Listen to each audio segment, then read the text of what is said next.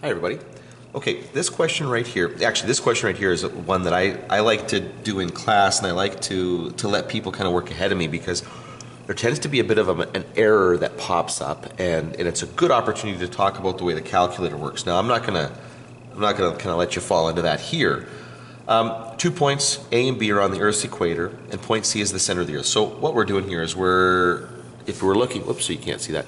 If we're looking kind of down from the top of the Earth, here's the center of the Earth, and we've got the two points A out here, B, here's C, and we're told that the angle here is 74 degrees. Okay, so now obviously we're going to have to convert that into radians because of the, the sort of work that we're doing here.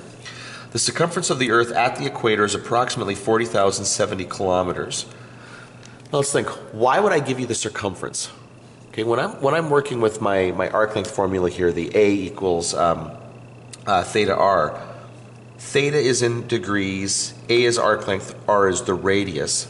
Okay, so why would I give you circumference? Well, I'd give you circumference so that you would have to go through the process here of finding the radius. Just, I'm adding a couple of steps to your work here. Okay, so I know, okay, it's at 40,070 kilometers equals 2 pi r. If I divide that, I know that my radius here is going to be 40,070 over 2 pi. Okay, so there's my radius.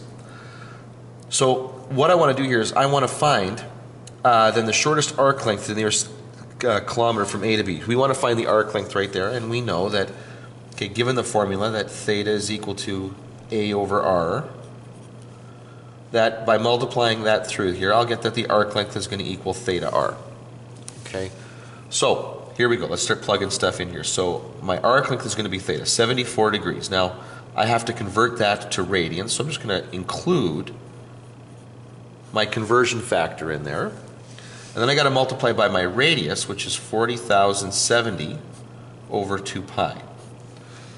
Now, when we go to the calculator, this is where I'll, I'll, I'll point out where kind of mistakes get made here. Um, so we're going to start with 74. We're going to multiply by 180 divided by pi. That's not the issue. That's actually usually pretty good here. Then we multiply by 40,070 divided by, now here's where people make the mistake. They'll put 2 pi here. This is incorrect. Okay, the reason why it's incorrect here is because the calculator is not seeing this the way you might be thinking it should be seeing it. It's seeing this as 40,070 divided by 2, and then you're multiplying that by pi. In reality, what I want to do is I want to divide by pi. In order to tell the calculator, whoops, sorry, that we want to be dividing by pi, you have to put parentheses around that denominator. Okay? And when you do that, the calculator will do this first and then do the division, which is what I want it to do here. Now press enter. And we are getting a ridiculously large number there for this.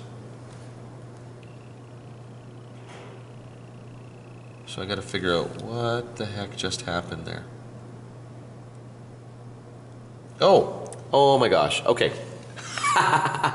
okay. I can't believe I did that. That was hilarious. Okay. I did the wrong conversion factor there. Sorry. Why didn't anybody say anything?